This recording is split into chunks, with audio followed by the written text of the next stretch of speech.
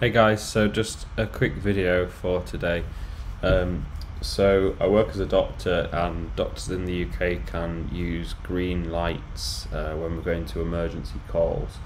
Uh, so one of the big issues I had when I bought the Tesla is um, the really cool windscreen means that I can't fix my old um, green light on the roof because it was a magnetic one. So obviously it needs to go on an actual roof and not just uh, on the glass.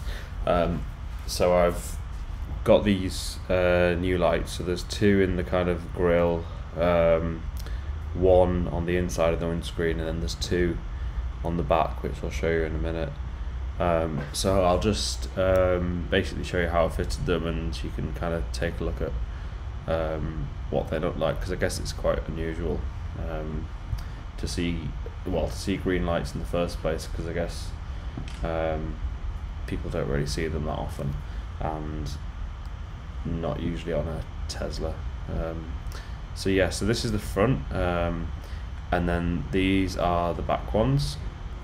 And I kind of experimented with um, how the back ones were. I'll show you that in a second.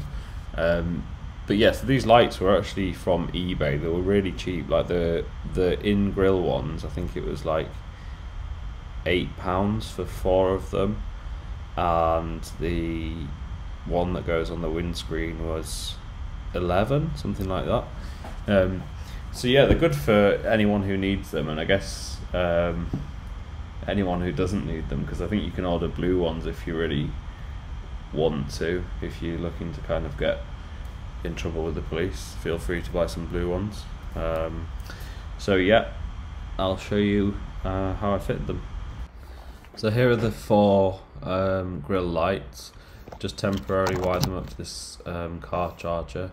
Um, and yeah there you can see the they're really quite bright and you can change the flash pattern and it has a memory. So when you turn the lights off the flash stays as it was.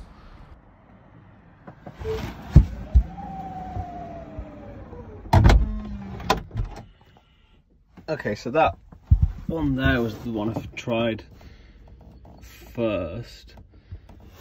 Um, show you that one actually first. It looked kind of cool, but how do I get out? Key.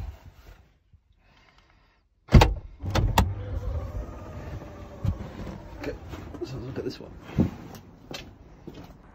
So yeah, this is the uh, first thing I tried. Um, I decided to put this one in the front of the car because it just gets quite bright and I need people to kind of see me. But let me know what you think.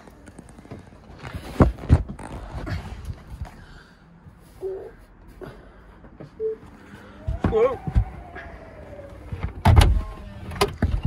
So yeah, that was that one. But I thought that one could go at the front. And then we can kind of jam these ones in against the window. So we push that one like that. And then I'm going to take that big one out in a minute. I'm just using it to kind of help me space these ones. And then this one, same kind of thing. Uh, just go a little bit more across.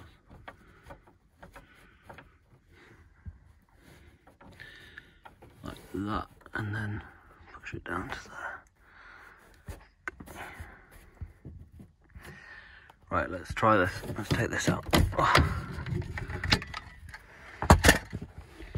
Okay.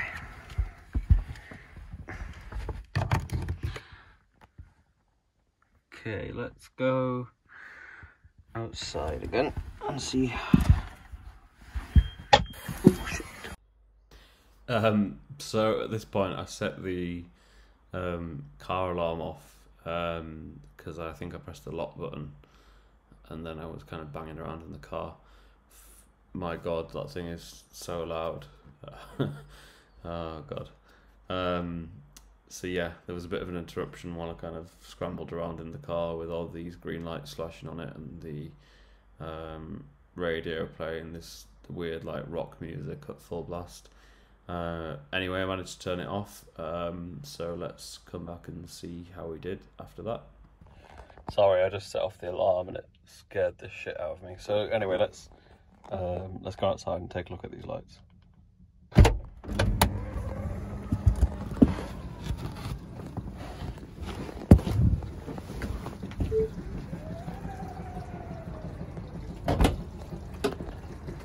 And I think I prefer these to the kind of big one because you don't really need them that bright in the back. Uh, by the way, that noise isn't the lights, it's my washing machine.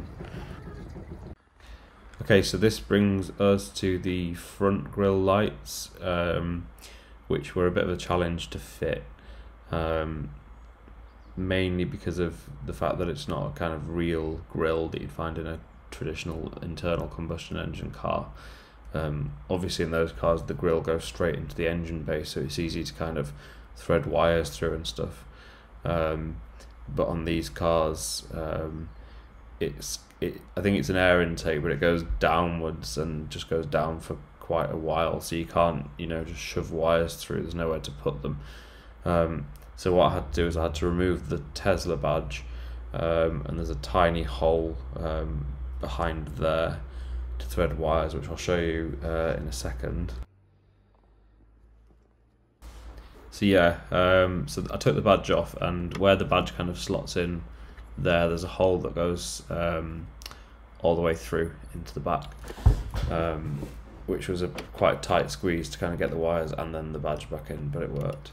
Um, so on the lights themselves, um, had these kind of metal plates, and I just used um, 3M tape to attach. Um, sorry, the camera's a bit crap here, but I attached one side of the metal plate to the light, and then I use the tape to kind of tape the other end of the metal plate just to the kind of plastic in the grill.